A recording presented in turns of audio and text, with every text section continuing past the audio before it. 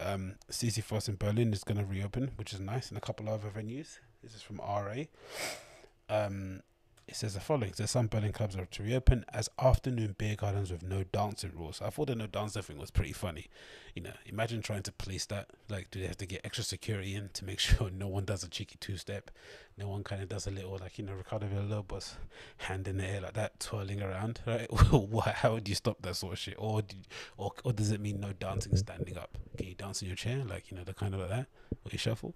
But I thought it was pretty cool idea anyway. Regardless, um, a lot of the bars in Berlin, especially the bigger ones like Sisyphos and no, the ones with bigger out uh, outdoor areas, Kater Blau, whatever it's called, same sort of thing. They could probably repurpose their clubs to fit in with these new rules, especially with the sun being out. I'm assuming it's great weather there at the moment. Um, usually the summers in Berlin are beautiful, so it makes more sense to you know take advantage of that. And the fact that you know they haven't got that many cases, they've handled the coronavirus thing pretty well as a nation. So why not reward them by giving them the ability to open up some places? And what what better place to start than Berlin? So this is from Sisyphos, one of the venues that will operate with a food license from this weekend. Great. So there's some places that Sisyphos opening this to that's today, Saturday. I'm assuming after Afternoon beer gardens operating with food licenses. There'll be music, but no strict dancing rules. And most of the bars will close around 10 p.m., which is nice because it means you can just you know head off and go back home to an after hours or hang out again, get a couple more. I imagine most of the Spätis will be open as well, so that makes that kind of life good as well. You'll be able to play some music from your MP3s and whatever it may be. Um, this is according to the Berliner Zeitung, however you pronounce that. About Blank has also planned so partially reopened. Uh, full details are yet to be confirmed. Okay, that's great to hear, man. Again, um, that's an adequate reward. I think it goes to show just how crazy things are in the UK that we we are deciding to open up, even though we have maybe I don't know double the cases and deaths that, or triple the cases and deaths that Germany has, and we're thinking of doing some things and softening the you know the lockdown it doesn't make any sense really. They're way ahead of us in terms of what they're doing in Germany, and they're getting the rewards for it. And I will assume they'll probably abide by the rules as well to make sure they're not in a position where, you know, they have like a second or third spike because people act a bit stupid and don't keep up some uh, basic social, you know, guidelines in terms of social distancing and making sure you have a mask on, all that good stuff. Um, yeah, I'm I'm there for it. And again, some light in the tunnel. I think that might be a good sign for us going forward in the UK if we do get things under control we could be we could see some of the bigger places or places that have the capacity to or the ability to kind of host people outside to maybe you know have maybe some barriers set up indoors where you can't sit down. You have to kind of like use the bar to pass in pass out but you can go and hang out in the bar in the beer garden. Because quite a lot of Wetherspoons are like that right? They usually buy bigger buildings and they usually have quite big garden space. I know they have a few in my area like that and a few independent pubs as well have those sort of like weird indoor gazebo things that you can use so there is a bit of room for that to happen and hopefully that might mean that a few of our independent spots will stay open once everything's finished as well. That'd be nice. Instead of reopening and we only got spoons around you. I mean, no one wants that. Uh, no, I don't. I know I don't. Cool. So what is next is here. Ba, ba, ba, going to talk about?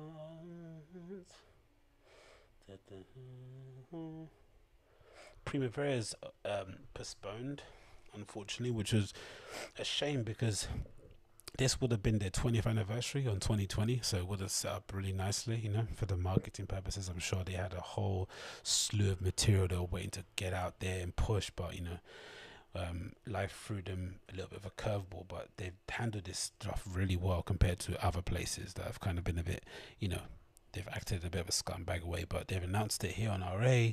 They said Primavera is the latest uh, festival to postpone its 2020 edition in light of the global coronavirus pandemic, following the Spanish government's restrictions on large-scale events throughout the summer. Uh, the festival has confirmed it's not holding a festival this year. The 2021 will be set um, to be the 20th anniversary. Instead, the next edition will take place June 2nd through June 6th next year, 2021. In a statement, it said the following. It's down below here. Let's read this. It says, "Today we've announced the most difficult decision in history." Uh, finally, we will not be able to celebrate 20th anniversary during 2020 in the face of the evolution of the COVID 19. We are devastated and are terribly sorry for the inconvenience caused, but the health and well being of our festival goers, people involved, this festival has always been and still is our absolute priority. We cannot thank you enough for patience, love, and understanding in this uncertain terms, uncertain scenario. Sorry, I have to say as well, because obviously some people always say this sort of thing about love for their fans and people that go there. For a big festival, for a festival that has a lot of big corporate sponsorships and you know it's a bit of a juggernaut. The times that i've been i have felt a lot of care and attention for people that are there. Um, they really give a fuck right? Um, you don't you don't see people getting too moldy or too fucked up. There's always somebody in hand, loads of uh, medical help, loads of places to get water, loads of places to get refreshments and food and shit, and just generally a really cool, easy, laid back vibe. Like you could easily go there, buy your merch to Primavera. I'm saying, listen to a couple of bands, you know, um, have a little twirl and go home, and you would see none of the madness. And if you want to see the madness and you want to get a bit leery, move closer to the front, get into the speakers, go somewhere where it's a bit dark and people are getting up to all sorts of nonsense, and you'll see all the freak shit. But if you want to just hang out, you can quite easily there. And I like that kind of vibe about it. I think that's part of what makes it a really cool place to go to.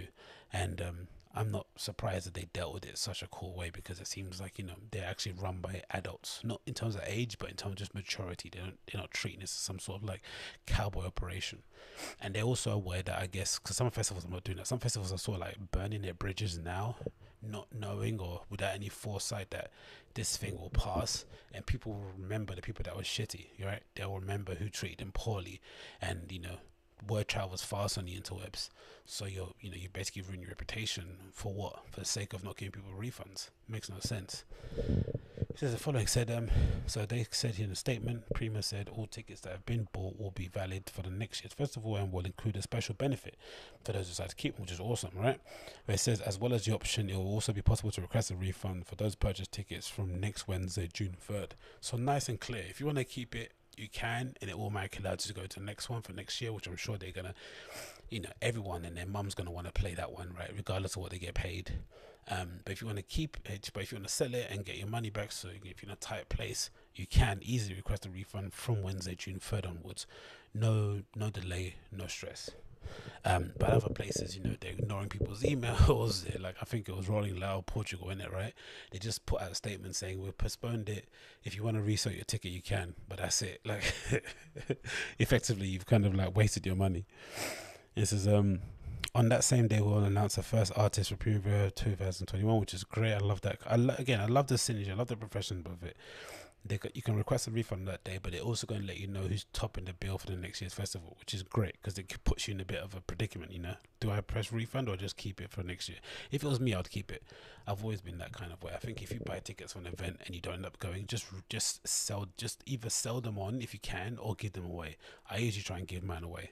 I'll usually just search on Twitter if somebody wanting to go to an event. I'll just send them my fucking um, screen, you know, my um, e-ticket on my phone and let them use it because um, you've already made the commitment to go, you give people the money. What are you going to do? You're going to ask for a refund from the promoter? That's a big gauge. I mean, just give it somebody else to enjoy. Um, the lineup will celebrate the 20th anniversary of the festival, embracing the best festival ever philosophy. We are counting on you to make this happen. Until then, please take good care of yourselves and follow the advice of the authorities at all times. The festival team continues to work intensively in order to be able in 2021 to celebrate something more than just Primavera Sound 20th anniversary meeting and dance together again. Yeah, that's gonna be beautiful. In the the sun, dancing to your favorite band. Oof, can't wait to see that one.